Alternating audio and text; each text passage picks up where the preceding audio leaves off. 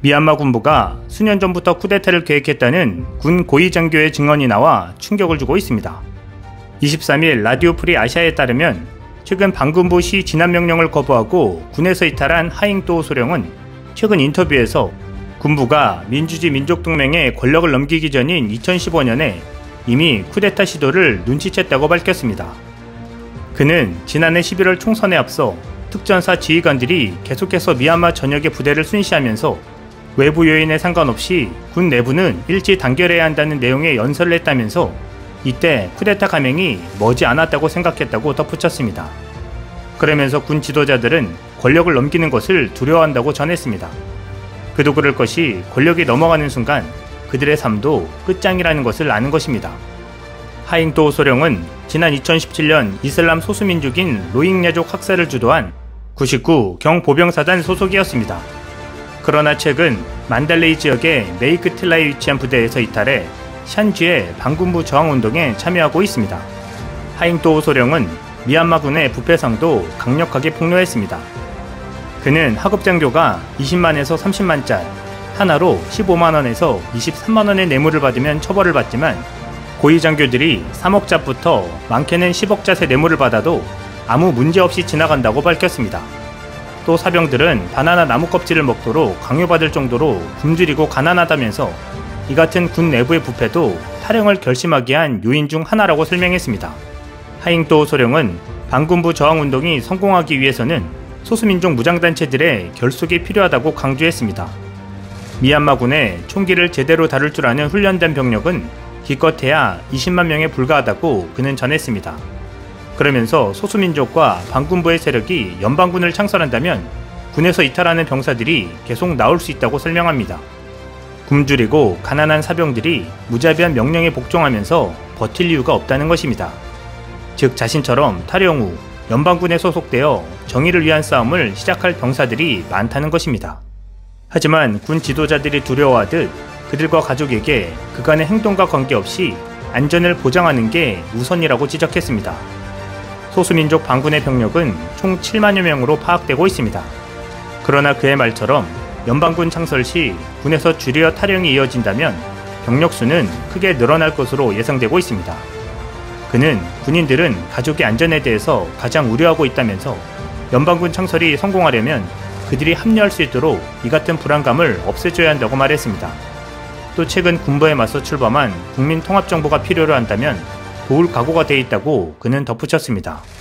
한편 미 나웅 흘라잉 미얀마군 최고사령관이 참석하는 동남아시아 국가연합 특별정상회의가 목전에 다가오면서 악화하는 미얀마 유혈 사태에 대한 정치적 해법이 마련될지 주목되고 있습니다. 미얀마 군사정권의 최고 책임자가 2월 1일 쿠데타 이후 처음으로 참여하는 자리이기 때문입니다. 20일 외신에 따르면 뿌라요 짜누차 태국 총리는 이날 조코 이도도 인도네시아 대통령과 전화통화를 갖고 아세안 정상회의와 관련해 의견을 나눴습니다.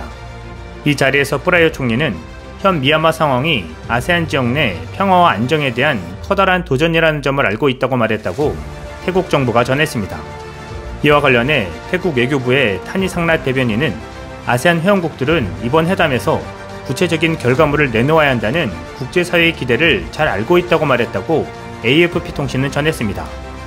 타니 대변인은 그러면서 아세안에 대한 신뢰성을 보여줄지는 아세안 회원국들에 달려있다고 밝혔습니다.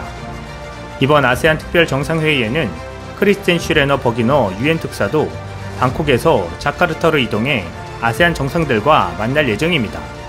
스테판 주자릭 유엔 대변인은 버기너 특사가 주말 자카르타에서 아세안 정상들을 만나 미얀마 사태에 대한 정치적 해법을 모색할 방침이라고 밝혔다고 라디오 프리 아시아 방송이 전했습니다.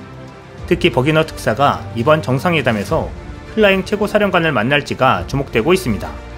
이 경우 버기너 특사의 미얀마 입국에 대한 논의도 이뤄질 것으로 보입니다. 버기너 특사는 쿠데타 이후 지속해서 미얀마 입국을 요청했지만 군부는 이를 거부해왔습니다. 그러나 일각에선 아세안이 이번 정상회의에서 미얀마를 압박하기는 힘들 것이라는 회의적인 시각도 나오고 있습니다. 전날 태국의 뿌라요 총리에 이어 이날엔 필리핀의 두테르테 대통령이 정상회담에 외교장관을 대신 보내겠다고 밝혔기 때문이라는 것입니다. 미얀마를 제외한 9개 회원국이 한 목소리로 유혈 사태 중단과 민주주의 회복을 군부에 촉구해야 하는 상황에서 이미 두 명의 정상이 국내 문제 등을 이유로 불참하면서 미얀마에 잘못된 신호를 보낼 수 있다는 것입니다. 말레이시아의 정치 분석가인 아지미 하사는 현지 매체 베나르 뉴스에 2, 3인자가 참석한다면 미얀마 군사정권에 아세안은 하나의 목소리를 내지 않고 있다는 신호를 줄 것이라며 미얀마와 관련한 어떤 결정을 할 때 아세안이 한 목소리로 말하고 있다는 점을 보여주는 것이 매우 중요하다고 지적했습니다. 미얀마 전문가인 호주 출신 정치 분석가 헌터 마스턴도 트위터를 통해 쁘라윳의 아세안 정상회의 불참은 흘라잉에 대한 연대라는 명백한 신호를 보내는 것이자 이미 상당히 옅었던 아세안 단결의 희망에도 커다란 타격이라고 비판했습니다. 흘라잉 사령관과 손절하는 뉘앙스를 풍기면서 오히려 아세안 정상들의 단결을 훼방 놓고 있다는 주장인 셈입니다. 이런 가운데 미국이 미얀마 군부와 연계된 미얀마 국영기업 두 개에 대한 추가 제재를 발표했습니다. 21일 뉴욕타임즈와 미국의 소리에 따르면 미국 재무부는 이날 미얀마 목재 기업인 미얀마 팀버 엔터프라이즈와 진주를 취급하는 미얀마 펄 엔터프라이즈를 블랙리스트에 올렸다고 발표했습니다. 이번 제재로 두 개의 미얀마 기업은 미국과 미국 기업들과의 거래가 금지됐고 자산도 동결됐습니다. 안드레아 가키 재무부 해외자산 통제국 이사는 범하구는 천연자원 시장에서 국영 기업들로부터 상당한 자금을 조달하고 있다. 오늘 조치는 이 특정 자금 채널을 타깃으로 삼아 쿠데타와 계속되는 폭력 사태에 책임이 있는 사람들에 대해 책임을 촉진시키려는 미국의 약속을 입증한다고 밝혔습니다. 유럽연합 역시 유혈 진압을 강행하고 있는 미얀마 군부 인사 10명과 연계된 기업 두 곳에 대한 제재에 나섰습니다. 제재 대상이 된 기업은 미얀마의 무역, 담배, 주류, 소비재 시장에서 지배적인 역할을 하는 미얀마 경제기업과 미얀마 경제지주 등으로 알려졌습니다. 이번 제재는 지난달 군부공직자 11명에 대한 자산 동결 및 입국 금지에 이어 단행된 것입니다. 미얀마 시민들도 군부의 자금 공급원이었던 맥주 사업에 대한 불매운동으로 군부의 돈줄을 말리고 있습니다. 19일 현지 매체 미얀마 프론티어에 따르면 미얀마 맥주와 다곤 맥주의 국내 판매량이 90%가량 감소한 것으로 나타났습니다.